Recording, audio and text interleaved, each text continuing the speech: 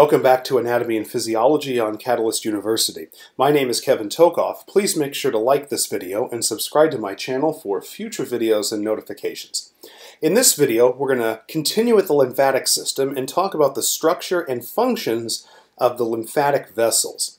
And we'll be frequently referring back to this slide, which was in the previous video where we talked about lymph nodes. So what are lymphatic vessels? Lymphatic vessels are similar to arteries and veins, except for a couple things. Um, one, they do not transport blood, they transport lymph, and their function is in the movement of excess fluid back up into the venous system. And they're actually going to dump that fluid back into the venous system at a point near the heart, uh, which is actually what we talked about several videos ago. We talked about the thoracic duct and the right lymphatic duct. Okay, And this fluid that we're talking about being returned is excess fluid that's been filtrated out of the capillary beds but not reabsorbed. Okay, so remember what filtration is at the capillaries. Here's a capillary bed right here. Remember that at the arterial end of the capillaries, so this is on the right side of this picture, the hydrostatic blood pressure is greater than it is over here on the venous end of the capillary.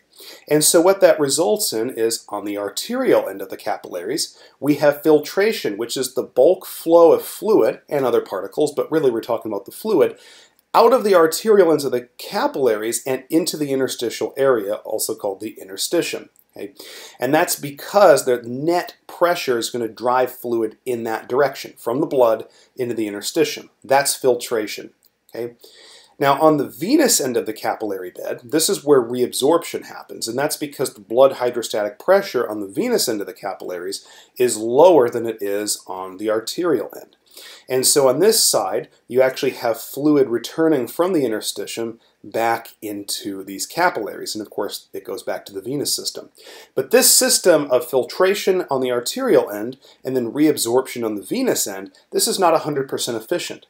In fact, not all of the fluid that's uh, filtrated is reabsorbed directly into the venous end of the capillary. In fact, only about 85% of whatever's filtrated on this end is reabsorbed back into the capillaries on the venous end.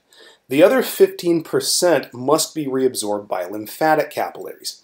And so what you see in this capillary bed, and we neglected this when we talked about the cardiovascular system, is you see these green vessels. These are lymphatic capillaries, and they're interspersed all around this capillary bed. And these lymphatic vessels are going to be involved in reabsorbing that excess fluid that's not reabsorbed, that 15% roughly. Okay.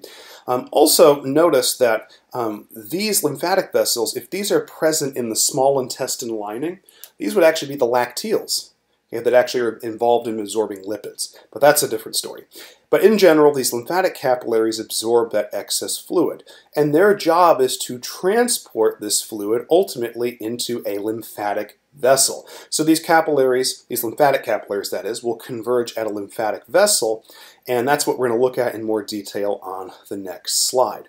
I do want to mention this, that if there's for any reason a failure to really absorb enough of this fluid in the lymphatic capillaries, this will tend to cause a condition called edema. And so if you can't absorb this last 15% of fluid from the interstitium that's been filtrated, then that fluid accumulates in the interstitial area around here, and over time you get more and more fluid buildup, and that fluid buildup is called edema. This is just a general term. As we'll see later on, there's actually other types of subtypes of edema. Okay? Let's look more closely at an actual lymphatic vessel.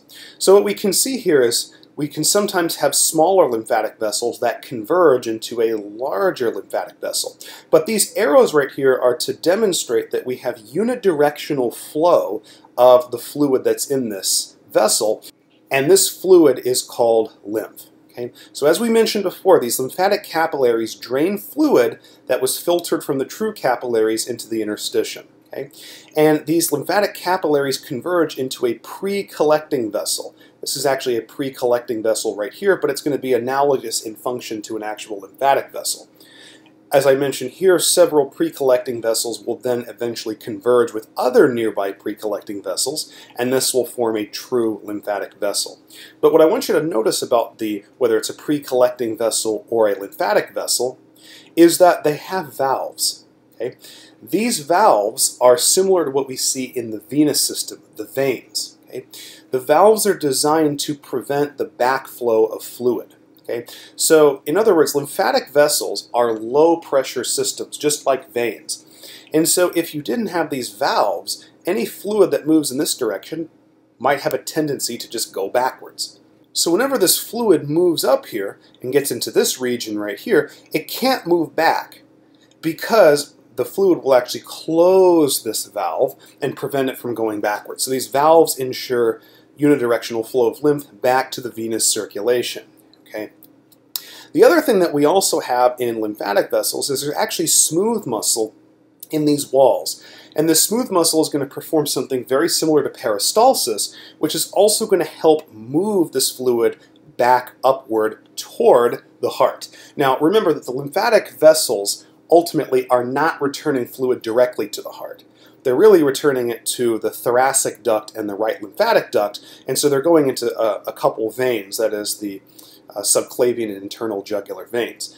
But the point is, is that they're going to move this fluid unidirectionally toward those regions, and the backflow is prevented by these valves, and then also the smooth muscle in these walls of the lymphatic vessels are actually going to help move it. Okay.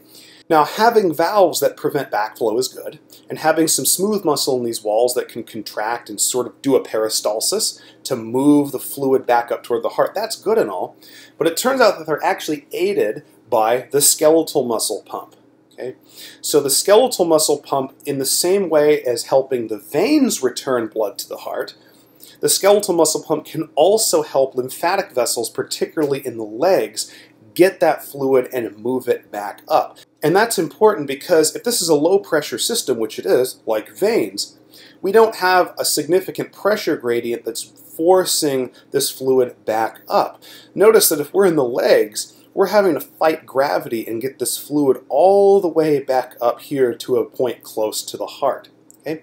So the valves help prevent backflow, and the smooth muscle in these walls can help a little bit. But the skeletal muscle pump, as with veins, is very important because as you contract muscles, then those muscles are going to sort of squeeze this fluid back up, and the backflow is prevented by these valves. This is why long-term chronic inactivity and a sedentary lifestyle has a tendency to promote edema. It's not the only factor. In fact, it's just a contributing factor.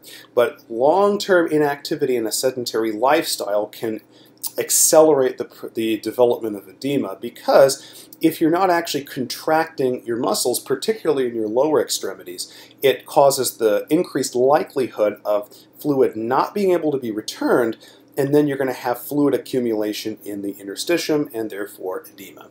Okay, so Hopefully this video gave you a good insight into the structure and function of lymphatic vessels. Please make sure to like this video and subscribe to my channel for future videos and notifications. Thank you.